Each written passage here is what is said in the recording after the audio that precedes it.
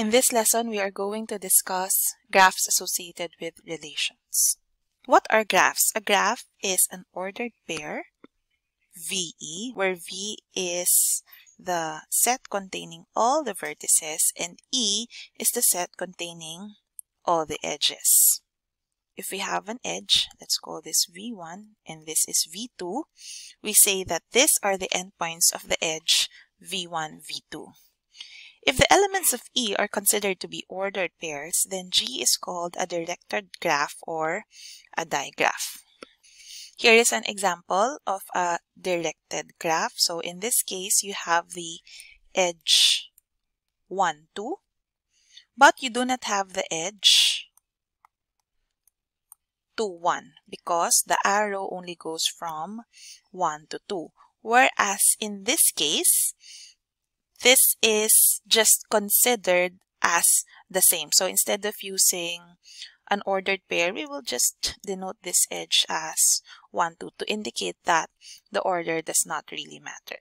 Now, graphs model relations between the objects, with the objects being represented by the vertices of the graphs. Two objects are related if and only if there is an edge between them. What it means is that in our graph, A will be related to B if we have the ordered pair AB element of the set of edges. So therefore, every non-empty relation R can be represented by a digraph and vice versa. If we have a graph, we can define a relation on the set of vertices. And conversely, if we have a relation, we can get its corresponding graph. Suppose that we have the relation R on the set A, where A is the set containing 1, 2, 3, 4, 5, and our relation is given by this. A is related to B whenever A divides B. Let me first write down the elements of R as an ordered pair. We have 1 divides everything up to 1, 5. And then for 2, we have 2 divides 2 and 2 divides 4. For 3, 3 divides itself, 4 divides itself, and 5 divides itself. This is our relation. How will we now look at its corresponding graph? I have 5 elements. Say this is my vertex 1, 2, 4, 3, and 5. First, we have the ordered pair 1, 1. So I will be using arrows to denote that it is a directed graph. I have 1, 2, 1, 3, 1, 4, and 1, 5. Next, we have 2, 2. We have 2, 4, 3, 3, 4, 4, and 5, 5. So these are all arrows. So we call those loops. How does the digraph of an equivalence relation look like? So, so far, we just know that if you have a relation, then you can you can have a digraph. But what if we have a special kind of a relation? We have an equivalence relation. What will the digraph look like? First, an equivalence relation is reflexive. So therefore, there should be a loop at every vertex in your graph. So if we have this element A, we know that there should be a loop. Next, an equivalence relation has to be symmetric. So therefore, if we have the edge V1, V2, so I'm using this arrow, if we have the edge V1, V2, this direction, we should also have V2, V1 because it is symmetric. If it is symmetric, we just remove the arrows and we just denote it as an edge like that. Next, it has to be transitive. So therefore, if I have V1, V2, these two are related and we have V we have V2 related to V3, then we must have the edge V1 related to V3. So let's look at the following graphs and determine whether this is an equivalence relation. An equivalence relation has to be reflexive, symmetric, and transitive. So first, is it reflexive? We must be looking for loops. However, this one we have 0 to 0. So that's actually equivalent to a loop. And 1 here, 1 is related to 1. So it, we have a loop there. And then 2 also. 2 is related to 2. So we have a loop there. However, we do not have a loop for the remaining vertices. And therefore, this is not reflexive. Next, is it symmetric? So if we look at 3, 0, but we do not have 0, 3. Therefore, this is also not symmetric. I will no longer check if this is transitive. I will leave it up to you as an exercise. But our point is that we have already shown that it is not reflexive and it is also not symmetric. So therefore, this is not an equivalence relation. How about the next example? Is it reflexive? Yes. We have A, B, C, D, and E. We all have loops. Is it symmetric? Yes because as you can notice here, the arrows are always two ways. Is it transitive? Notice that you always have like a path here. So E and A are related, A and B are related, and we have E and B. So let's check the others. This, this, we have this. And then you can verify also that for the rest, you always have a triangle formed here. So like this, if A is related to C, A is related to D, therefore D is related to C. This one will be an equivalence relation. Suppose that we have a graph with vertex set V and edge set E. A totally component of G is a pair V1, E1, so meaning to say it is also a graph itself. And notice here that V1, that's a subset of your vertex set and E1 is a subset of your edge set. Now what happens here? It says for all V1, V2 in V1, it must be true that V1, V2 is an element of E1. This means that if you get two vertices in V1, then they must always be related. So for example, this is a totally connected component. This is a totally connected component. And this is a totally connected component. And the reason is, if we get any two elements here, they will always be connected by an edge. So just like in this one, we only have two, they will be connected by an edge. If I get two elements here, they are connected. I have, I get two elements here, they are also connected. So this is how a totally connected component looks like. There will always be an edge between any two arbitrary elements. The graph is said to be totally connected if every vertex lies in some totally connected component of G.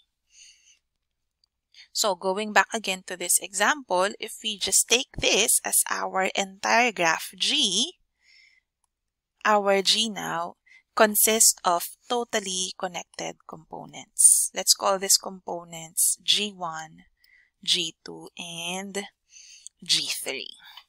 Why are we studying totally connected components?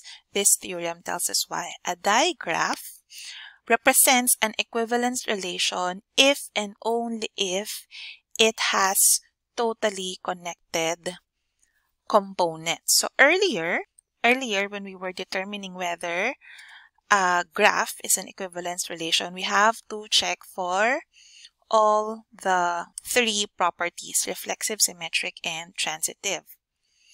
However, this theorem now tells us that just by checking if, it, if our graph has totally connected components, then automatically it will be an equivalence relation. So going back to this example, you might be thinking that, how come this is an equivalence relation? We do not see any loops here. Because remember, for something to be an equivalence relation, we should always have loops. For the rest of the lecture, we will always assume that there is a loop around each edge. Now, going back to this example, it will be symmetric because your graphs here will be undirected.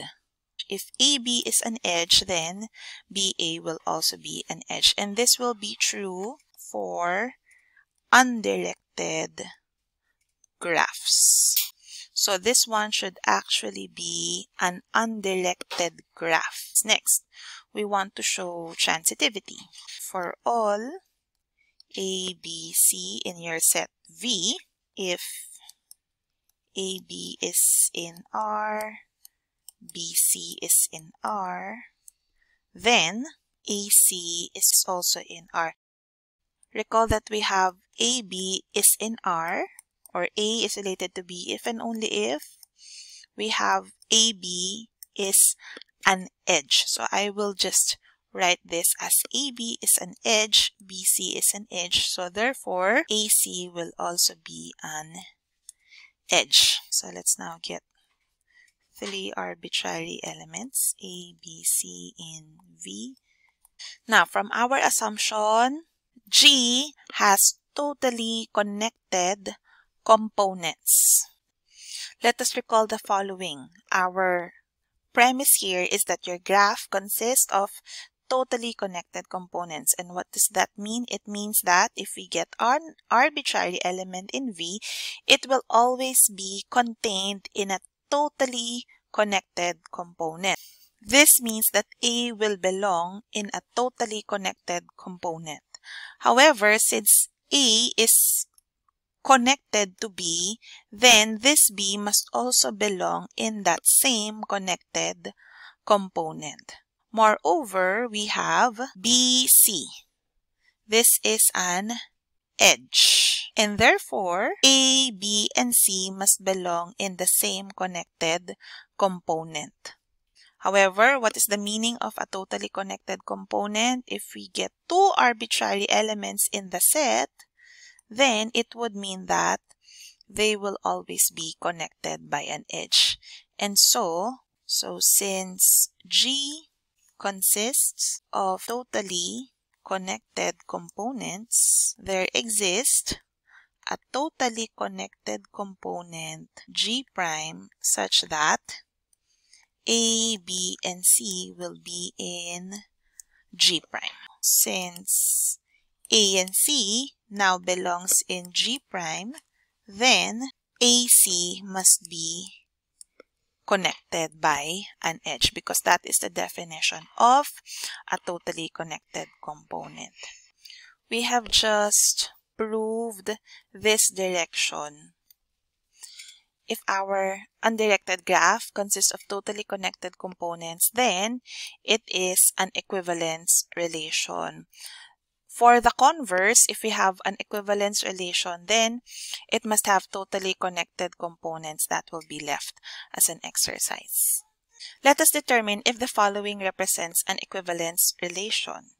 And if yes, let us determine its equivalence classes.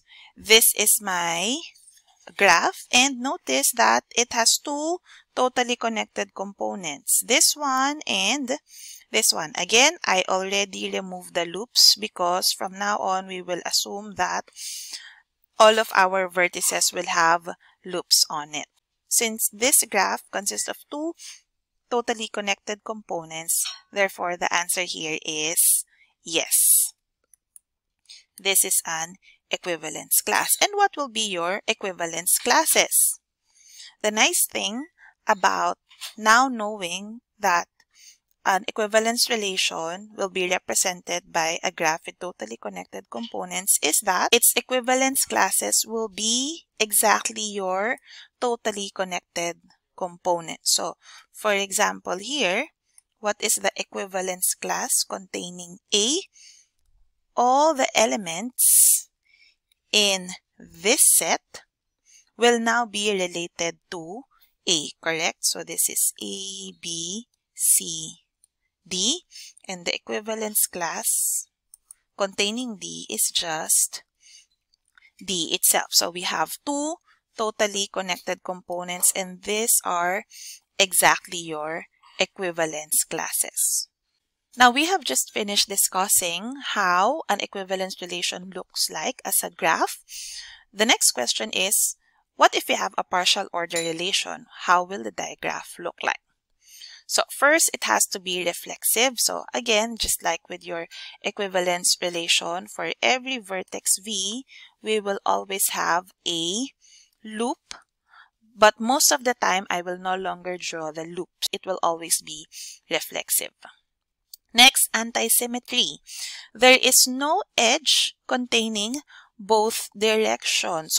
If you have a partial order relation, it has to be undirected because if you have an edge containing both directions, then this means that V1, V2 is in R, V2, V1 is in R, but antisymmetric means that they must be the same. But in this case, they are not the same. So this one cannot happen. We should always have one direction only. Next, transitivity. If G contains the vertices V1, V2, and it contains the edge V2, V3, then we should have V1 must be related to V3. An important thing to know about the digraphs of posets is that they never contain a closed path except for loops at individual vertices. Meaning to say, this configuration cannot happen. Okay, you cannot have A is related to B, B is related to C, and then C is related to a. What we only know is that by transitivity, the order should be A is related to B, B is related to C. Then, it should be A is related to C. Understand? This is not a closed path. If it's like this, this, this, and then this.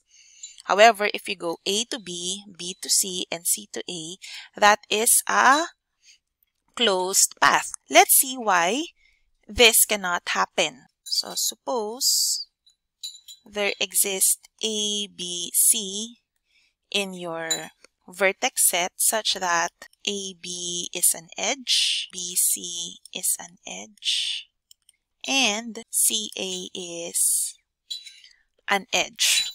Now, in terms of relation, this means A and B are related, B and C are related, and C and A are related.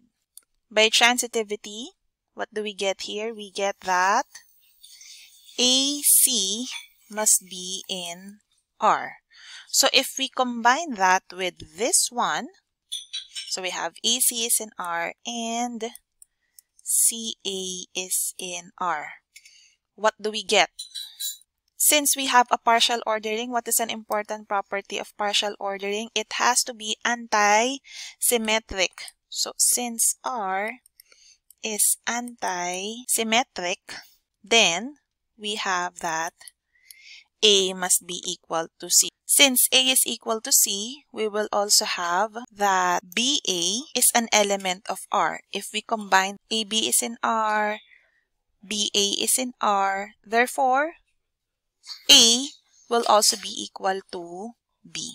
And therefore, what have we shown here?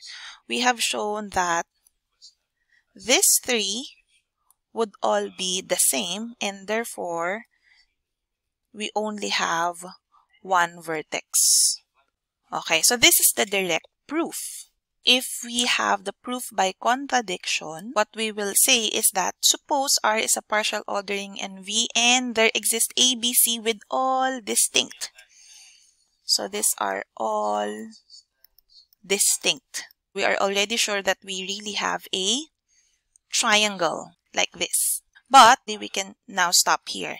A is equal to C and that is a contradiction of our initial assumption that they are distinct. So this contradicts our assumption that the three vertices are distinct. So therefore, there is no closed paths in our graph.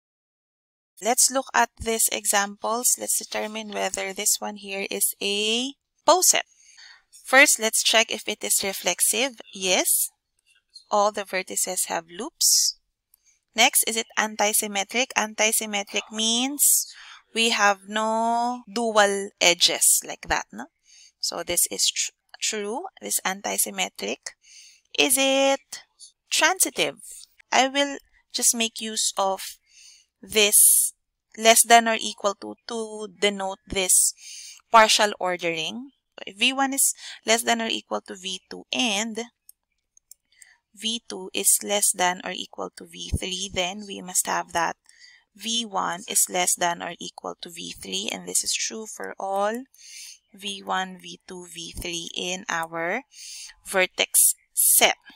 However, in our example, do we have something like that? Our premise here is always false. This does not happen in our case, correct? So therefore, this is vacuously true. If the premise is false, then automatically this is already true. So therefore, this is transitive.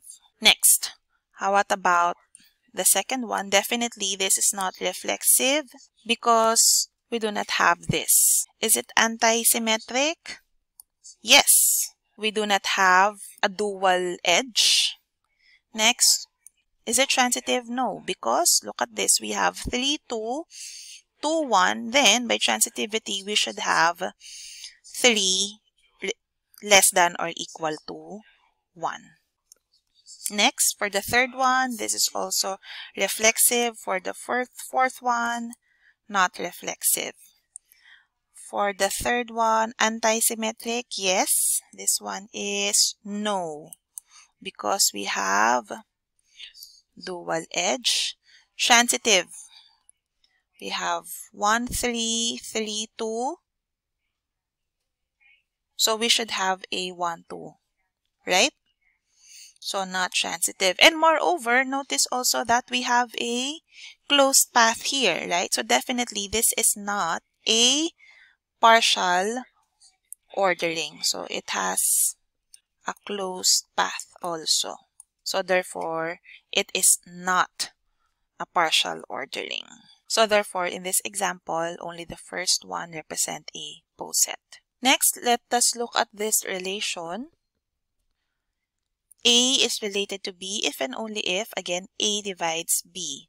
The relation R is partial but not a linear ordering on A. Let us recall the definition of a linear ordering. It means that if we get two arbitrary elements in A, then it's either A1 is less than or equal to A2 or A2 is less than or equal to A1. Any two arbitrary elements must be related. Why is this not a linear ordering? For example, 4 and 6. 4 is not related to, I will be using the R here, 4 is not related to 6 and 6 is not related to 4. Take note that that is the negation of this one. It will be end. Now, let us draw the graph of our relation here. I already have here the elements of A, then we will just connect them. Okay, what will be the ordered pairs here? 1 divides everything. So 1, 2, 1, 3.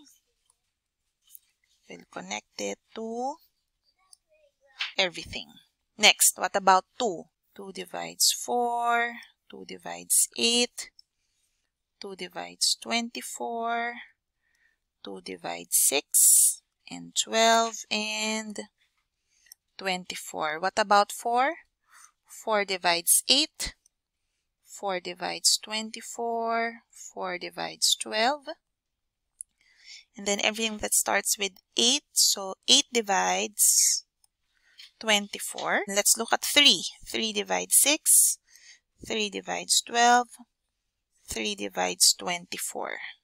6 divides 12 and 6 divides 24 as well. And of course, it is given that we always have loops because the numbers divide themselves. Okay, so that is how the graph of this relation look like. Just by looking at this graph, it is really very complicated, right? So what we want to do is to simplify the diagrams of posets. So if we already know that we are dealing with posets, since every vertex has a loop, we will no longer include them in the graph. Next, since there are no closed paths, we can orient the digraph so that all the edges point upward. Okay, so meaning to say, for this one, I will no longer have to draw the arrow here automatically. When I draw that, okay, all the arrows would automatically mean upward. Next, we will remove the edges that are covered by transitivity. So just like for an example here, I will no longer need, let's say 1 divides 8 because we can get that from 1, 2, 2, 4, 4, 8 and therefore 1 is connected to 8. So let us now draw the diagram of this relation so that it will be much simpler. First, I will no longer draw the loops here. Next, we will remove the edges that are covered by transitivity. I will only connect 1, 2, 2, and 3. Why is that? Because 2 and 3 are the prime factors. We no longer need to connect one with the other composite numbers because they will either be connected to 2 or to 3. Next, let's look at 2. Okay, definitely. We have 2 is related to 4. 4 goes to 8. 8 goes to 24. And notice that I no longer need this because that is already covered by transitivity 2, 4, and 4, 8. I no longer need this one because it's covered by 4 and 8. So this one will automatically follow. Next, we also connect 3 with 6, 6 and 12, and 12 and 24. What is it that we haven't connected yet? So should we still connect 4 and 24? No more. So here, 4 is connected to 12. Is that covered by transitivity? No, because you do not have this path. You do not have a downward arrow, right? So everything is going up. So 4 and 12 are not yet related here, so I need to draw the edge there. What else? How about this edge? 2, 6. Is it already covered here? No, because in order to go to 6, you have to go down, which you cannot do because all the edges are going upwards. So we have to connect 2 and 6. So this is now a simpler version of our graph. We call this the Hasse diagram of your partial ordering. How did we get this Hasse diagram? We place all the vertices on the page so that all edges point upward relative to the edge and we draw edges as line segments rather than arrows. And we also eliminated all loops as well as all the edges guaranteed by the transitivity of your relation. So here is a Hasse diagram of another relation. Let's call the vertex set S. So this is from A, B up to N. What does this mean? So we have E and then A here. So everything is going upward and let's denote my relation by the less than or equal to relation. So we now say that E is less than or equal to A. Moreover, if you look at F and E, they are not connected by a line, right? And there is no way that you can connect F and E because remember, you cannot go down. You cannot do this one because this would mean that you went down. Remember, all the edges are going upwards. So there is no way you can go from E to F. So we have E is not related to F and F is also not related to E.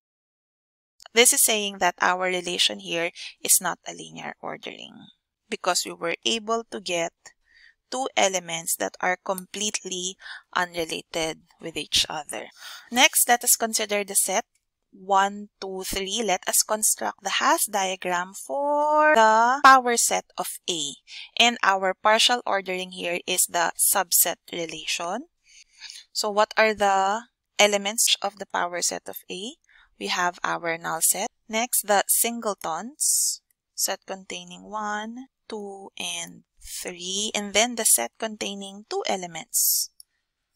So 1, 2, 1, 3, and 2, 3. And lastly, the entire set A. 1, 2, 3. Let us draw our Hasse diagram. We will already remove the loops. The null set is a subset of everything. Do I still need to connect this one? No, because later on, it can be covered already by this edge, right? So we can remove this edge. And next one is a subset of 1, 2. 1, 2 is a subset of this. 3 is a subset of this. And set containing 1, 3. This one is also a subset of that. And this one. And therefore, this is now the Hasse diagram for our relation. How does the Hasse diagram of a linearly ordered set look like? This is very nice. The reason why it's called a linear ordering is because the Hasse diagram will just be a line. If we get two points, there will always be related. So it will just be one straight line.